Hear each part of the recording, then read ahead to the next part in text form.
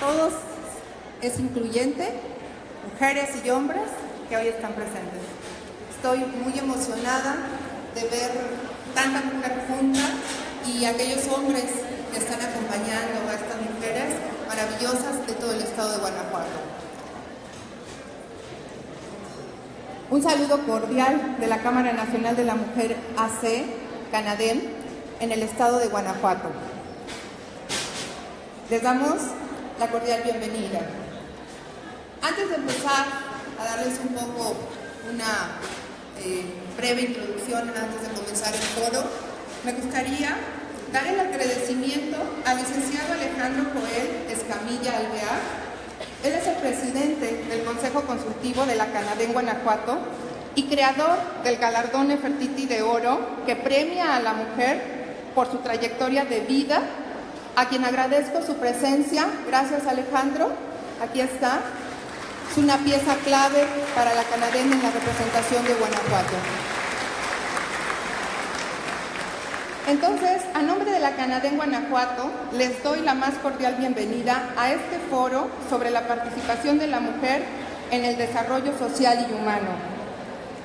A todas las mujeres y a todos los hombres de nuestro hermoso estado que nos acompañan, a nuestros exponentes, Liliana y Diego, a las políticas y políticos que han mencionado y que hoy nos honran con su presencia, a las galardonadas y miembros de la Canadén y Manera, y a los amigos y amigas que se dieron el tiempo para estar aquí, sean bienvenidos. Y gracias por asistir. Este foro tiene por objetivo abrir un espacio real de involucramiento entre la sociedad civil y gobierno de desarrollo social y humano. La Cámara Nacional de la Mujer es una asociación autónoma e independiente que representa los intereses de la sociedad y principalmente los de la mujer mexicana. Realiza actividades y campañas que promueven el desarrollo y el bienestar de la mujer y la familia a través de programas sociales, culturales, tecnológicos y científicos. Actualmente la Canadén Asociación Civil es el órgano de vinculación más importante para la mujer en el y empresarial de México.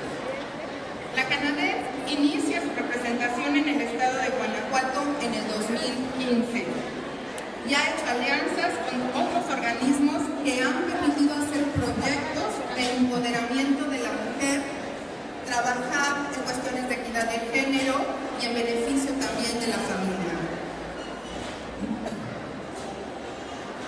Se dice que el desarrollo del capital humano y del capital social es la clave en la mejora de la calidad de vida de una sociedad.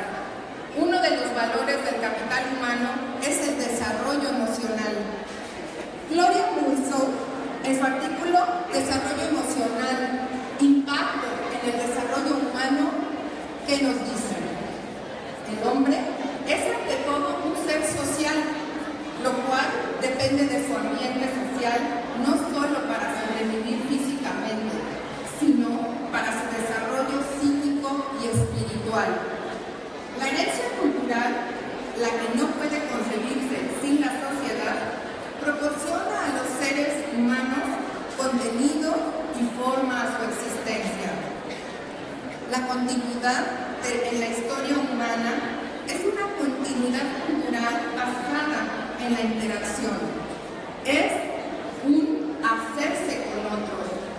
En este aspecto es donde el desarrollo emocional recepciona elementos desde el mundo externo para constituirse desde el propio e impactar en el desarrollo humano. Por ello, desde esta perspectiva humanista, es necesario considerar que toda persona, desde su proceso de individualización, puede convertirse en persona y ser perfectible. De ahí la sociedad debe fomentar la incorporación universal de las niñas